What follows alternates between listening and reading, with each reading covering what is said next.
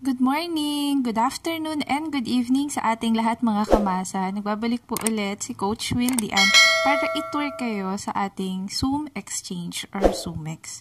So medyo nadagalan kasi uh, marami tayong inaasikaso, nag-aaral din tayo sa trading, and syempre part din ng paano nga naman ako makakapagturo sa inyo pag ako mismo hindi ko alam yung ituturo ko. So mahabang kwento.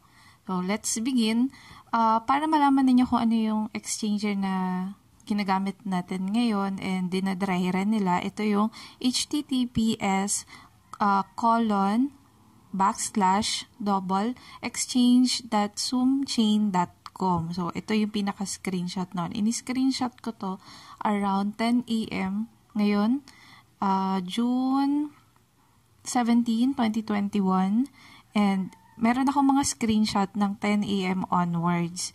Medyo nakikita, makikita ninyo mamaya sa screenshot na nagbabago-bago yung mga prices. So, let's start na.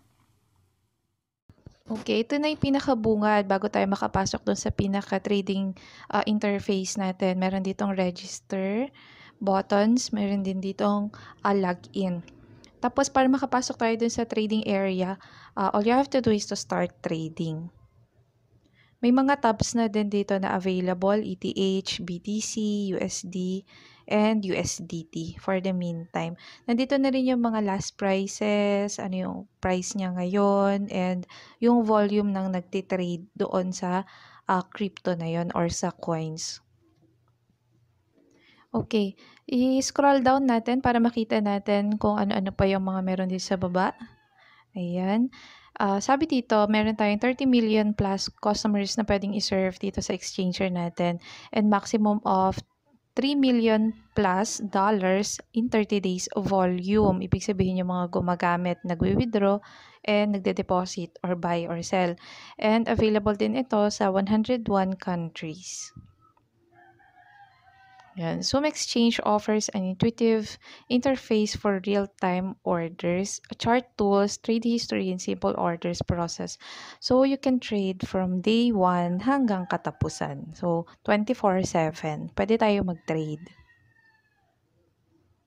Ano-ano pa yung mga features nitong exchanger natin? Of course, pwede tayong uh, mag-exchange, order types, yung buy and sell, customize interface. Gusto ko yan. Tapos, uh, marami na tayong community. Available na yan sa iba't ibang bansa. Security, yung 2FA na tinatawag. And meron din tayong API. What is API? Application uh, Programming Interface. So, kahit nasa beach ka, kahit nasaan ka, pwede. Yan, trade on the go. Pwede sa cellphone. Hindi mo na kailangang mag-download ng isang application para makapag-trade. Uh, kailangan mo lang ay, of course, internet. So, yan. Pagka gusto nating mag-sign up, merong sign up button.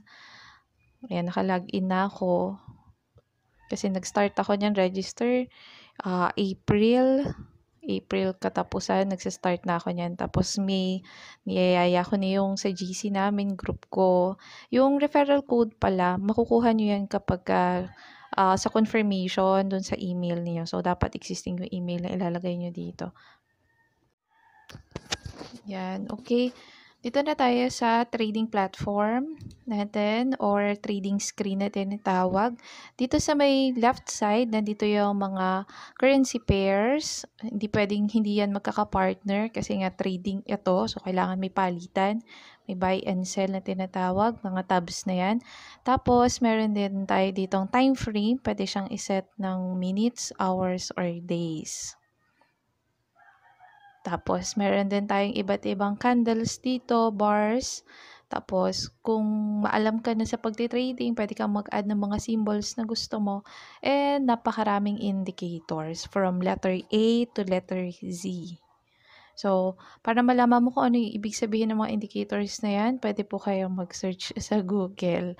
Ask na lang po natin sa Google. A to Z yan. Napakarami. Tapos, marami rin po tayong uh, pwedeng galawin dito sa settings area. Style, scales, uh, backgrounds, time zones, or sessions. Pwede mo siyang palitan ng kulay, kapalan ng konti yung bars, yung lines. Nasa sa inyo po yan. Yan. Pwedeng, pwede nyo galawin. Nasa sa inyo yan. Pag kinlose nyo yan, uh, babalik lang din siya ulit sa dati. Ganon. As in, ganon. babalik siya ulit sa zero. Kahit i-settings mo siya ngayon, wala siyang save. Pagkapasok mo ulit, galawin mo na lang ulit. Yan. May vertical grid and uh, horizontal grids, pwede kayong maglagay niyan, preference niyo yan. Nasa sa inyo kung anong gusto nyong kulay. Syempre, hindi naman lahat ng tao nakakakita ng colors. So, nasa sa inyo po. Ano po? Pwede rin kayo maglagay ng watermarks, navigation buttons, and kung ano-ano pa.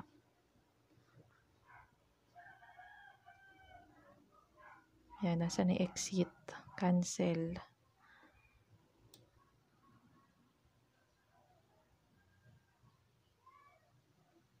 Yan. Ito ay nakaset ng 15 minutes buhan eh. Dito sa may kanan, ay kaliwa, ayan, may iba't ibang tools na pwedeng gamitin. Ginagamit yan ng mga nagtitrade for their prediction para malaman nila kung uh, ano yung mga susunod na mangyayari sa market. Yan, nakakatulong yan para mag-visualize. And additional indicators din para sa inyo kung magbabay ka na ba, it's time na ba para mag-withdraw or mag-sell or what.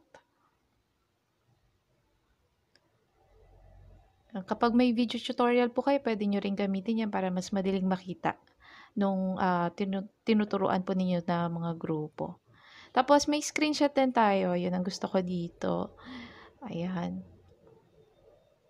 Pwede kayo mag-save. Tapos itong nandito sa kanan, ito, ito po yung mga available na price natin ngayon sa market. And yun, nasa baba naman is yung time. Nakaset ito ng 15 minutes, kaya nakalagay dito sa time natin ay per 1 minute, seconds, and so on. And napo-full screen din siya ha. And of course, nagkagalaw din yung dito sa horizontal and then sa vertical, yung sa prices. Nakalagay dito sa gilid yung mga pips na to. Yan, nagbabago po yan per hour, minute, seconds, and semi-seconds. Yan change ko muna siya sa uh, Zoom to USD and nakaset for 4 hours. Uh, dito sa kabila, order books, color red, sila yung mga nagwi-withdraw. And sa color green naman, sila naman yung mga nagde-deposit. Red is uh, mga nagsisell Uh, yung green naman ay yung mga nag-buy or nagko-convert. Madalas yan nagbabago. Meron din ditong price, amount, and total. Explain ko yan later. Dito sa taas, ito yung actual change. Ngayon, real time. Lowest 24 hours naman, yung pinakamababa for the last 24 hours. Ayan yung price niya. And highest naman, kabaliktaran lang siya nung lowest 24 hours. Yung last price, tsaka yung last market price ay parehas. And yung volume naman within 24 hours, ito kung gaano karami yung uh, nagtitrade ng XUM and yung uh, changes via percentage.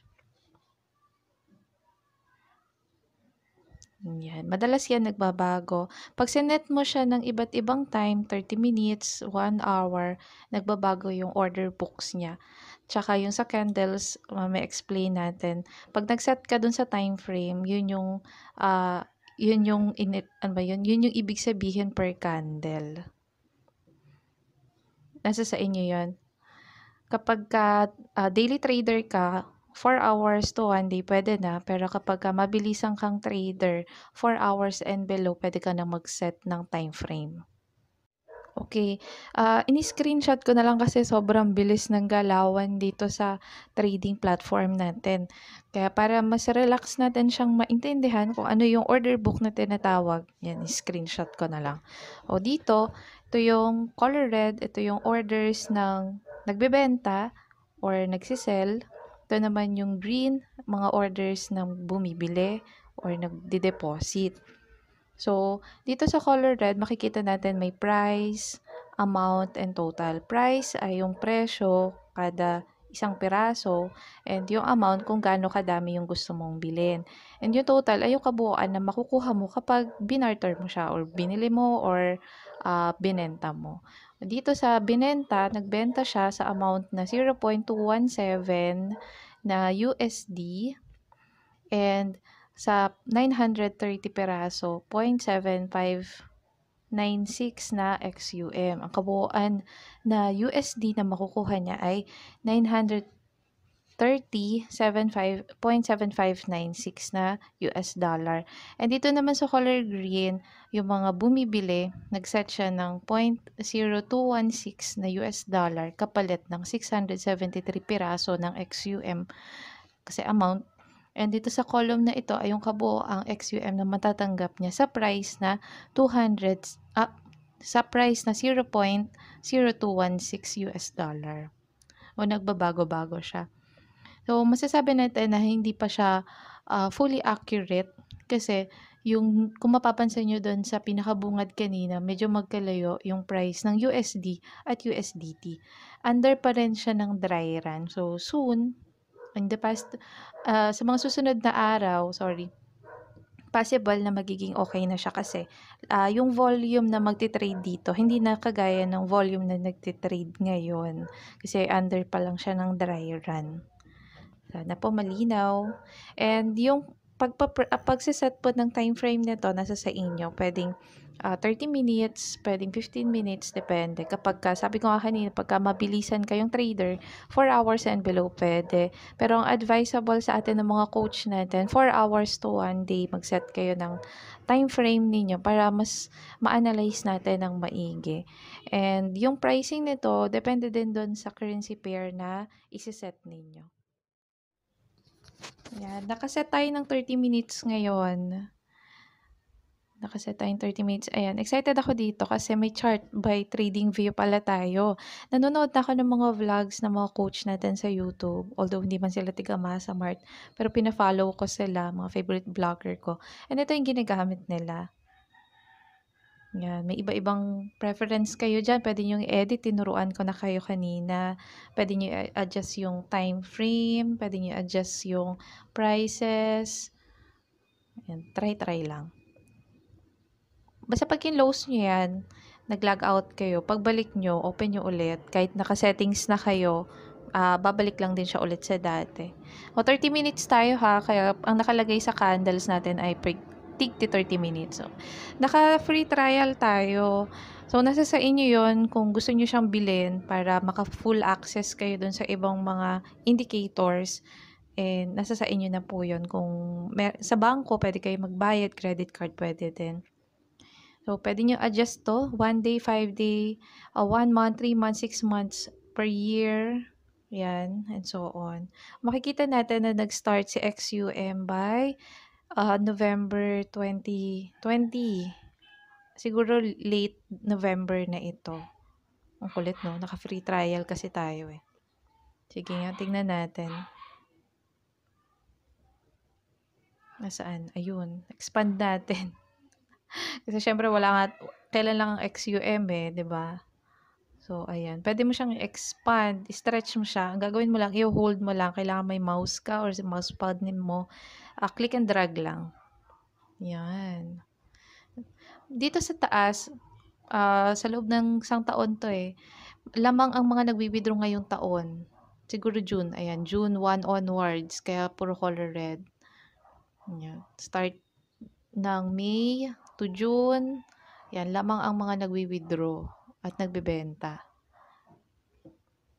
Nasa sa inyo yan kung gusto niyo galawin, gaano ka uh, layo, yung time frame, kayo na pong bahala.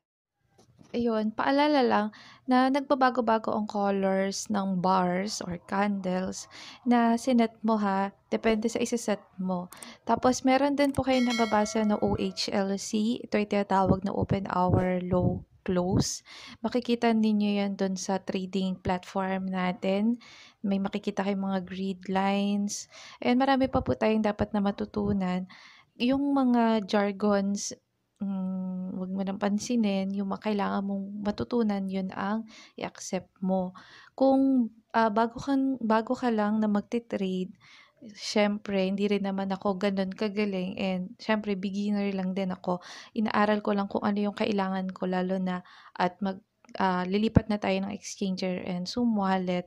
So, napakarami pa po. Try po natin mag-aral kahit one word, two words sa loob ng isang araw, malaking bagay na po yun. Sa susunod na video tutorial ko, ituturo ko na sa inyo ano yung mga definitions ng mga bullish, bearish, ano yung uptrend, downtrend, paano natin yun ma-recognize. And sa susunod na video, ituturo ko na rin sa inyo kung ano yung uh, pump and dump sa trading area. So, ngayon, tinur ko lang kayo sa exchanger. So, sana marami po kayong natutunan. And share po natin tong video and huwag kalimutan mag-subscribe para sa mga susunod na video ay updated po kayo.